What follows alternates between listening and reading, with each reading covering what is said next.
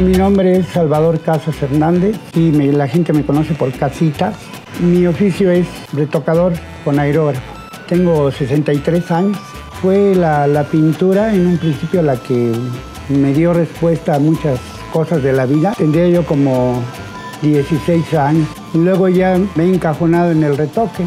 Este es más bien parte artístico y parte artesanal. Ya mucha gente me conoce a mí y a mi tocayo, nos conocen. También me recomiendan de algunas tiendas y ya viene la gente y nos va este, trayendo trabajo. Ha bajado, pero que haya fallado algún día de que llegue un trabajo, ¿no? siempre, siempre está llegando. Este está deteriorado de aquí, todo esto se lo voy a quitar. Se hace el fondo, esto va a ser a color. Y, y terminado este material, se le pone texturizado o se le pone poliéster sí tuvo un auge económico y ahora actualmente como que se está valorando más, ¿verdad? Porque lo digital pues, tiene, es como frío. Esto es técnica, pero sí tiene parte de uno, parte de arte. Deja uno su paleta de colores en cada trabajo. Por ejemplo, si vemos las películas antiguas en blanco y negro, había mucho, había poca técnica y más más talento artístico. Y ahora puede haber muchísima más tecnología, pero como que falta talento. Es algo parecido a esto. Esto, por ejemplo, son los recortadores.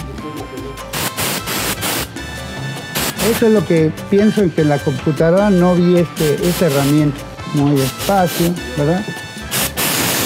Es más o menos lo, lo que se está trabajando, ¿verdad? Había muchos, muchos retocadores. Ahora actualmente quedamos muy pocos. Queda mi compañero, yo, otros seis, ¿verdad? La computadora ha venido desplazando a esto. Es como cuando eh, surgió la fotografía. Pensaban que el pintor, este, el pintor iba a desaparecer. Claro que nosotros subsistimos porque a mí me gusta ser eh, retocador manual porque no sé, me, me, gusta sentir la brocha, el color, todo esto.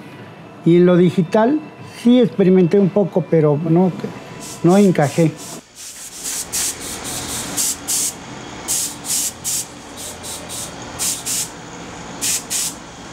Hubo un declive porque esto se escaseó un poco y sí tuve que en este edificio entrar de portero para lo de la renta. Pero ahora actualmente pues hay más o menos, hay más o menos este, algo sale.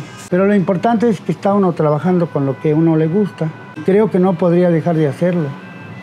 Este, cuando hay unos trabajos bonitos, siento una, una satisfacción muy hermosa, ¿verdad? Siento una energía extraña y necesito sentir eso de vez en cuando. Este es un trabajo que hizo mi papá hace como 60 años más o menos. Está sobre, sobre cedro. Aquí se pegaba esto y esto se tallaba. Tengo dos hijos. Este, no, no se interesaron en esto. Uno, uno trabaja en la prótesis, haciendo prótesis de eso. Y otro es licenciado en Relaciones Internacionales.